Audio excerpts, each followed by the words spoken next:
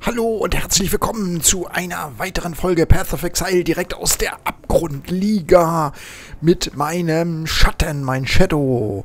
Der ist inzwischen ein bisschen aufgestiegen und ich war fleißig. Der weiß ja immer noch nicht so richtig, ob er jetzt auf äh, Energieschild oder auf äh, Ausweichen gehen soll. Ich weiß es immer noch nicht, aber ich war fleißig. Habe ein bisschen was erledigt ich war schon an den Docks zwischen den Folgen und habe äh, mit Fairgraves da gesprochen, habe auch dieses komische Talkum besorgt, bin zurück zu Diala, um mir da das Höllentalkum machen zu lassen, habe dann die unsterbliche äh, Barrikade irgendwie äh, bei, beseitigt und letztendlich auch den äh, General Gravitius oder wie der heißt äh, erledigt. So, und jetzt bin ich hier gelandet im äh, Lunaris-Tempel und äh, ich habe mittlerweile zwei Stufen hier auf dem Buckel und jetzt muss ich auch mal langsam hier die Skillpunkte vergeben und das mache ich einmal mit euch. Und deswegen muss ich jetzt hier auch wieder aufnehmen. Und ich denke mal, da wird nachher auch ein bisschen interessanterer Endkampf sein. Interessanterer Endkampf sein, genau. Und deswegen seid ihr jetzt auch wieder dabei. Ich habe zwischendurch auch wieder einen Riss gehabt, wo keine Kiste rauskam, weil ich nicht schnell genug war. Lag aber ein bisschen am Schadensoutput, der noch nicht ganz stimmte. Dafür sind die beiden Skillpunkte wichtig. Also, legen wir mal los. Ja, ähm, wir waren ja bis hier hochgelaufen. Also hier haben wir ja schon alles gemacht, ne? Für die, die neu dabei sind, haben wir schon alles gemacht hier. Und da haben wir auch ein bisschen Leben noch dazu und so. Und sind dann hier so rum. Äh, hier rüber, hier wieder Leben. Und hier ganz viel Chaos-Schaden. Und jetzt legen wir hier nämlich noch einmal deftig drauf mit 25% Chaos-Schaden. Wir haben mehr Zaubergeschwindigkeit. Und wir kriegen sogar noch Chaos-Widerstand, was ich super finde. Und den wenden wir jetzt hier auch gleich mal an. Ähm... So, jetzt ist eben die Frage, einen zweiten habe ich noch, was mache ich weiter? Ich habe das ein bisschen überlegt. Ich habe dann erst überlegt, warte, ich mache mal ein bisschen kleiner hier. Ich habe erst überlegt, mir hier unten weiteren Chaos-Schaden zu holen. Das war eigentlich so das Erste. Dann habe ich mir überlegt, hm, vielleicht wieder ein bisschen Leben.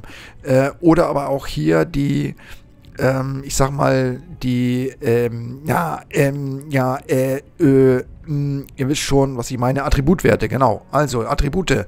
Ähm, hier einfach mal drauf zu legen und hier unten waren auch irgendwo noch welche, hatte ich gesehen, irgendwo, hier waren sie, genau, da oder mir die eben dann zu holen.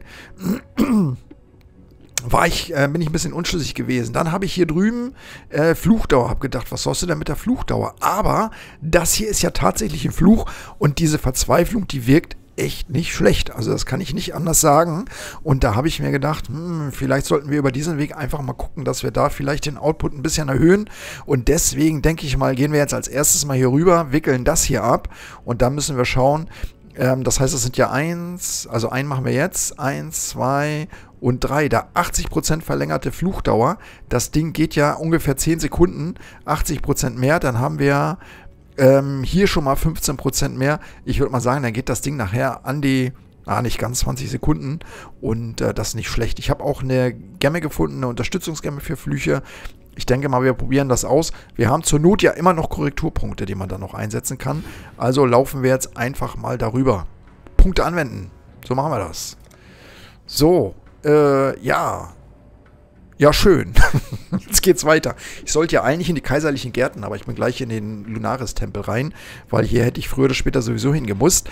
Denn äh, wer das Spiel kennt, der weiß, dass man nachher in den kaiserlichen Gärten, da muss man irgendwie in den Turm, dafür braucht man einen Schlüssel, den kriegt man hier im Lunaris-Tempel. Also rein in den Lunaris-Tempel. Obwohl ich natürlich auch gerne erst in die äh, Bibliothek wäre. Also Ebene 1 habe ich schon durch, Ebene 2 machen wir jetzt. Da treffen wir ja auf äh, jemand Bekanntes. So, wir wollen mal gucken, wie das ist. Aha. So, das mit dem Verfluchen und dann das ist also schon, an sich reicht das vollkommen aus. Jetzt so. Also der macht sich hier, was das angeht, macht er sich richtig, richtig gut. Das heißt, ich muss da gar nicht mal überall hier diese Entkräftenkugeln reinfeuern. Das reicht so in Verbindung. Also der Fluch mit der Verseuchung reicht aktuell aus. Ähm, so, und wenn es dann ein bisschen hartnäckiger wird, ich sag mal ein Riss oder so, da muss man auch das andere mal da, wie der hier zum Beispiel, der ist ja nicht ganz so ohne. So, oben im Lunaris-Tempel im ersten Level, da ist auch irgendwie so ein ganz fieser Kerl. Ähm, den habe ich auch relativ schnell umgehauen. So. Ja, gut, da seht ihr schon. Geht recht gut. in der Kombination. Äh, was mir momentan immer noch ein bisschen zu schaffen macht, ist eben diese Dreier-Kombination. Also alle hier durch zu... Oh. Ja, itemsmäßig, also wie gesagt, das liegt so ein bisschen dran, weil ich noch ein bisschen unkoordiniert bin. Gehe ich Richtung ähm, Schild oder doch eher Richtung ähm, ausweichen. Wenn ihr mal gucken wollt jetzt inzwischen, also ich habe das auch mit den Items geschafft hier und in Verbindung natürlich mit der Reinheit der Elemente hier wirklich fast überall auf 75 zu kommen. Hier kommt jetzt auch noch Chaos-Schaden dazu. Äh, Chaos-Resistenz, Widerstand. Widerstand heißt das ja jetzt, obwohl bei mir heißt das irgendwie Resistenz. Ist egal. Ähm, also der macht sich gar nicht schlecht hier, der Schatten, so wie der jetzt läuft. Der nette Herr Schlafbringer. Ups, ups. Ups, ups. Ups, ups. Brauchst eigentlich nur warten, bis sie umfallen, ne? So, und da muss man eigentlich immer zusehen, dass man ein bisschen wegkommt, bis sie dann weg sind. Äh, dann ist, wäre man ja auch in Sicherheit. Das fällt mir noch ein bisschen schwer, das äh, Weggehen. Man will ja immer so gerne, am liebsten möchte man ja so, und da muss man hier aber zusehen, dass man aus der Schusslinie kommt. So, wenn ich jetzt wieder zurücklaufe, dann müsste ein Teil davon tot sein. Alle sogar.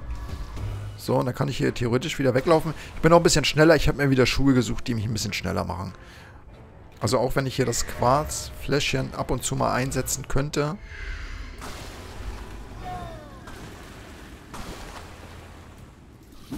So, ein bisschen kann man noch ein bisschen Handarbeit. Das wird ja hier mein Öffnungszauber äh, auch bleiben wahrscheinlich.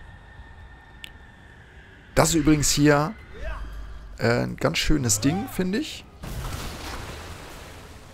Dieser äh, Lunaris-Tempel, der ist so schön gruselig irgendwie. Also ich mag den von der von der Aufmachung mag ich den. So, reicht. So, für alle Fälle nochmal. Letzten Kram nochmal weg. Elrion. Ich habe mir immer noch kein Versteck gemacht. Wollte ich immer noch machen. Na?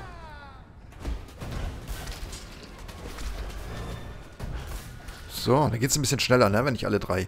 Was, was muss ich hier noch machen? Hier, die muss ich die verteidigen oder wie ist das? Hm, ich weiß gar nicht mehr, wenn da so viele stehen. Wir werden es rausfinden. Na gut.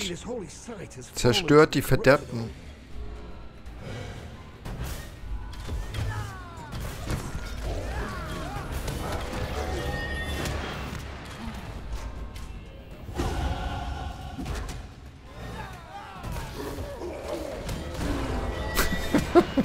ich mag den. Also irgendwie mag ich ihn ja. Ne? Man muss immer ein bisschen aufpassen, äh, dass man nicht zu wagemutig wird, weil das eben kein Actionheld ist. Ist er eben nicht. So, der müsste jetzt auch drei sein. Kann ich mir, genau, kann ich mir aussuchen, wenn man einen nachher eine, äh, ein Versteck baut. Mm, ja, wollen wir den auch gleich vergeben, ja? Äh, haben wir extra gesagt. Fluchdauer 15%. 9,66, wollen wir mal gucken. Da, 11 Sekunden. Also das wird noch ein bisschen interessant hier. So, ich denke mal, ich muss bei dem Richtung Energy Shield gehen. So, ich weiß noch von den Items hier, da könnt ihr schon sehen, da habe ich jetzt Ausweichwert noch drin. Ausweichwert, also noch so eine Mischung hier, Ausweichwert, Energy Shield. Zurzeit sind das so die Mischung. Ich habe hier auch noch ein paar blaue Items. Der natürlich Energy Shield. Also ich muss da noch ein bisschen was machen von denen. Also äh, ist jetzt auch nicht, obwohl 300 ist ja jetzt auch nicht schlecht, ne? Das kann man jetzt nur auch nicht behaupten. Also da werden wir mal gucken müssen. Ich bin ja auch ein bisschen scharf auf, ähm, auf das Zaubertotem. Da freue ich mich auch schon. Oh. Na? ja, das ist das, was ich so mag irgendwie. Was ist denn hier für ein Level? 30 haben wir hier. 33, also ich bin eigentlich noch ganz im grünen Bereich.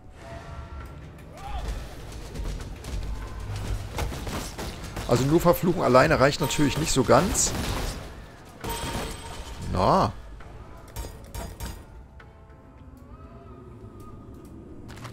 Das alleine reicht natürlich nicht so ganz. Ich glaube, ich muss hier tatsächlich mal ein bisschen Leben nehmen. Das ist auch eine Gefahr, ne? Ich könnte natürlich auch hier mit dem Quecksilberfläschchen einfach durchrennen. Aber wenn du dann Pech hast, dann hast du mit einmal vor dir welche, hinter dir welche und dann kommst du da nicht mehr durch. Also Wobei, wie gesagt, also Sterben jetzt hier macht ja noch gar nichts aus. Eigentlich. Da ist nichts. Macht ja hier an der Stelle noch gar nichts aus.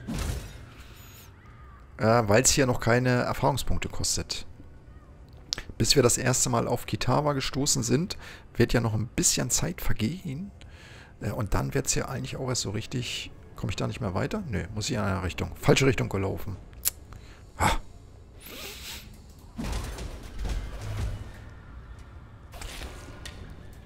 Komisch, ne? Der ist genauso orientierungslos wie mein Templer und meine Hexe. Ich verstehe das gar nicht. Nimmst extra eine andere Charakterklasse, genau das gleiche.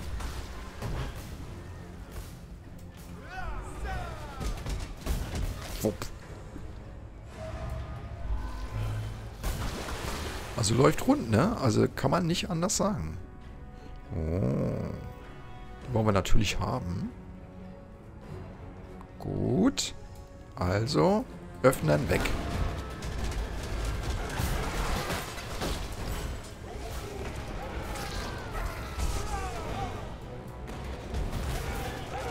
So, jetzt aber mal gut. Oh, ein Gürtel, ein Gürtel, ein Gürtel. Ein Juwel. Hm. Ich weiß noch gar nicht, habe ich überhaupt Platz irgendwo für ein Juwel? Habe ich den Platz?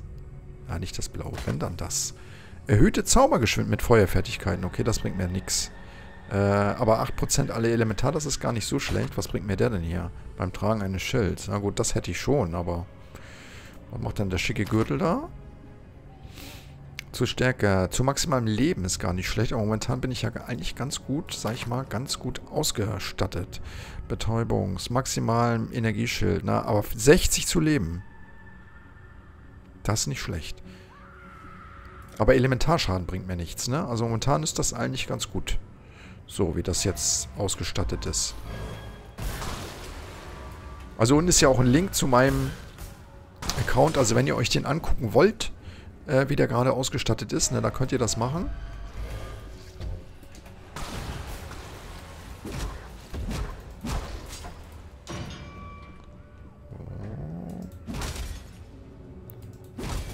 So, hier muss man im Prinzip nur irgendwie durch.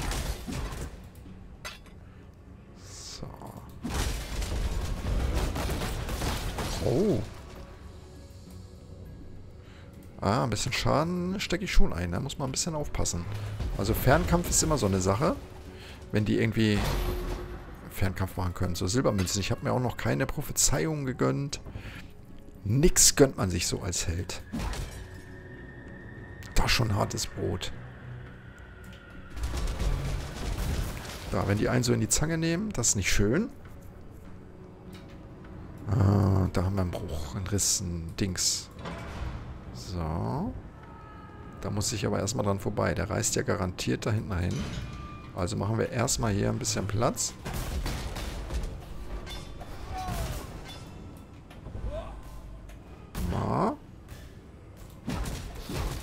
Ist nicht verflucht. Aber jetzt...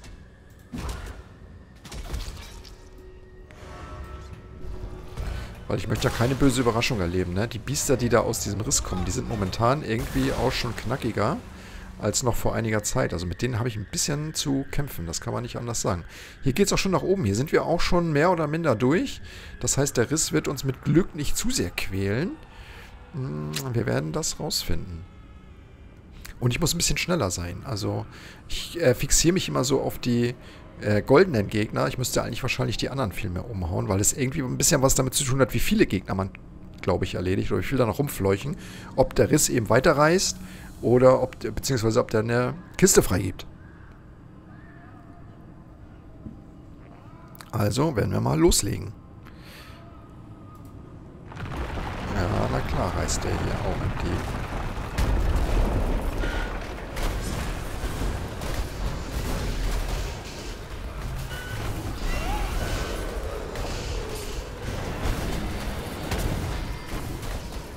So, und der reißt dann auch.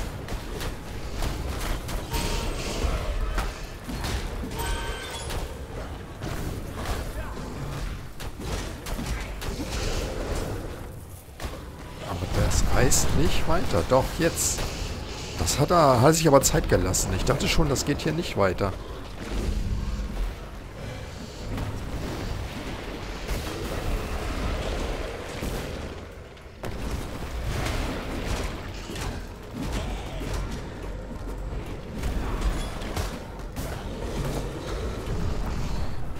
Einen aber auch von allen Seiten hier aufs Korn.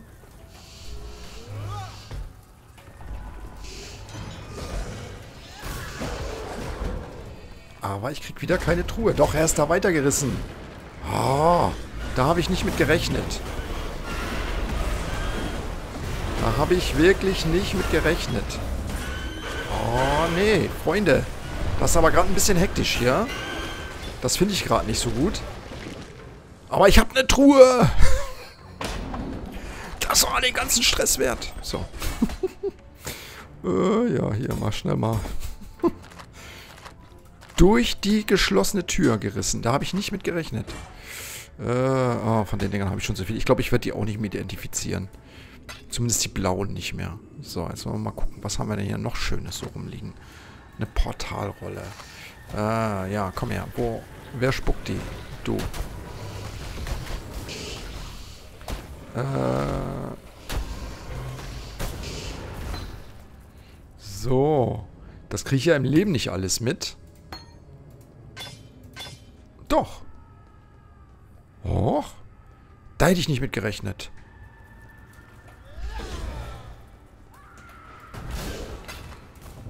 So, das Interessante kommt ja jetzt erst. Jetzt wird es auch wieder spannend. Jetzt haben wir gleich wieder einen Endboss. Da war nix. Noch einmal vorsichtshalber. Äh, ja, das könnte gar nicht so schlecht sein. Wir wollen uns das mal ganz kurz angucken, sonst schmeißen wir das gleich weg. Erhöhter Immun gegen Bluten. Oh, ist das schön. Äh, Immun gegen Bluten. Das können wir nämlich... Und schmeiße ich das jetzt weg. Das können wir nämlich super brauchen, äh, wenn wir nachher am Ende des Akt 3 gegen Dominus müssen. Weil der ja gerne Bluten verteilt. So, jetzt machen wir die auch noch. So. Und dann geht's hier weiter. Erstmal die eine Hälfte, dann noch die andere Hälfte. Also ihr seht schon, ich muss hier aber doch ganz schön was einstecken.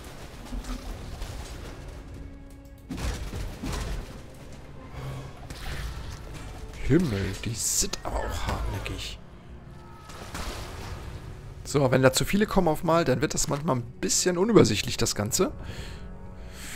So. Hm. Jui, wollen wir mal gucken, wie er sich da macht. Na, wo ist sie? Piety!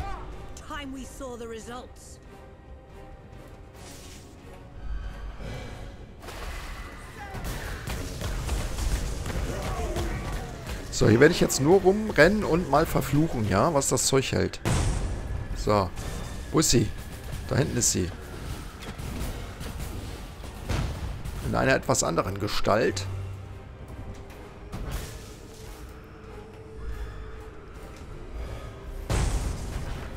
So, die hat ja hier mehrere Portale. Wichtig ist eigentlich nur, dass wir sie immer fleißig verfluchen. So, und ihr seht schon, Fluch mal erneuert. So, einmal nochmal hier so ein Ding. Also ich glaube, dass die nicht mehr lange überbleibt. Na, und weg ist sie. So, und da haben wir nämlich den Turmschlüssel. Und eine Belohnung kriegen wir. Und ich habe alles mit einpacken können. Ist das der Hammer. so, äh, ja, hier ist ein bisschen blöd. Also hier kommt man auch nicht wieder weg.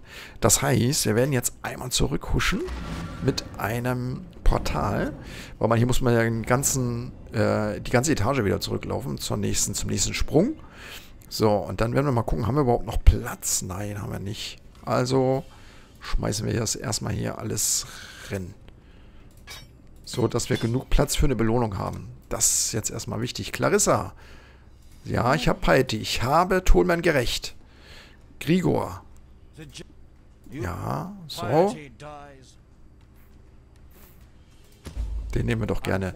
Ich mache ja auch immer alle optionalen äh, Aufgaben, weil mir ich momentan immer noch scharf bin auf die... Oh, Maramoa. Mit der, die kann uns auch was erzählen hier? Nein. Hagan. Auch nicht. Von der habe ich übrigens auch eine Belohnung gekriegt, weil ich ja den General Gravitius erledigt habe. Äh, war aber nichts wirklich brauchbar. Oder doch, ähm, das ist gerade falsch. Die hat mir... Ich weiß gar nicht mehr. Habe ich die da bekommen? Dab, dab, dab. Nee. Da ist es nicht. Da ist es nicht. Die hat mir doch irgendwie... Ich glaube, die Unterstützung der Falle, die hat die... Oder habe ich die gefunden? Ah, wenn ich das mal noch wüsste. So, aber nutzt mir nichts, ne? Nutzt mir nichts.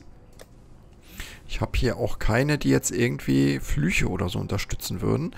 Das wäre ja nochmal interessant. Äh, kommt ja vielleicht noch. So, in diesem Sinne. Also wir haben hier ganz schön was. Wir machen jetzt hier den, den Skillpunkt gleich noch. Dann brauchen wir das nächste Mal nicht. So, und dann können wir nämlich hier die Fluchdauer, hier die Wirkung auch nochmal erhöhen. Was macht denn der jetzt? Äh, 17% erhöhten Schaden.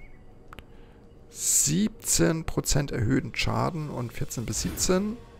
So, und nu? Immer noch? 14 bis 17? Jetzt habe ich nicht aufgepasst.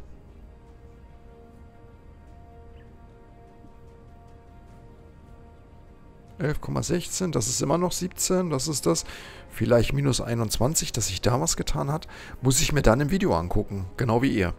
In diesem Sinne, ähm, wir haben viel geschafft. Wir wollen jetzt als nächstes hier in die kaiserlichen Gärten. Da wartet auch eine Aszendenzprüfung auf uns.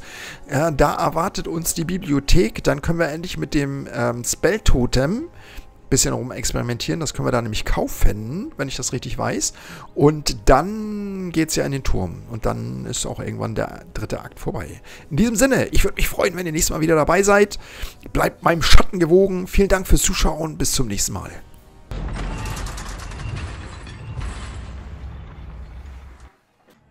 By the divine authority of the Templar. You are hereby exiled to the forsaken shores of Reklast. You have transgressed against God and consorted with sin. Find your redemption, exile, or die in the attempt.